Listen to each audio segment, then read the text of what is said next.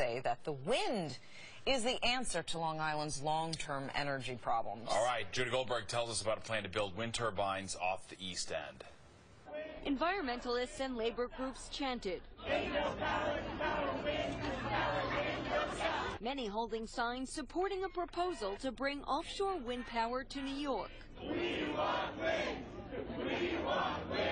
Despite backlash from the commercial fishing industry, close to 100 people called on LIPA, the Long Island Power Authority, to move forward with plans to build what would be the country's largest offshore wind farm. Offshore wind is going to bring us a clean, safe, reliable source of energy. It's going to put people to work and it's going to bring us a cleaner, safer planet. Offshore wind is going to be critical for the governor's uh, goals to source 50% of renew uh, energy with renewables by 2030. Deepwater Wind, the contractor in negotiations with LIPA, built the nation's first wind farm off the coast of Block Island, seen in this video.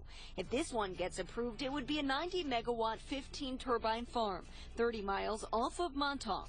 It would produce enough energy to power some 50,000 homes by 2018. It's a great opportunity for uh, Long Island workers to get jobs in a brand new emerging industry. And at today's board meeting, LIPA officials say they've made significant progress over the last several months. Another for the end of January, and environmentalists are hopeful that's when it'll be voted on and passed.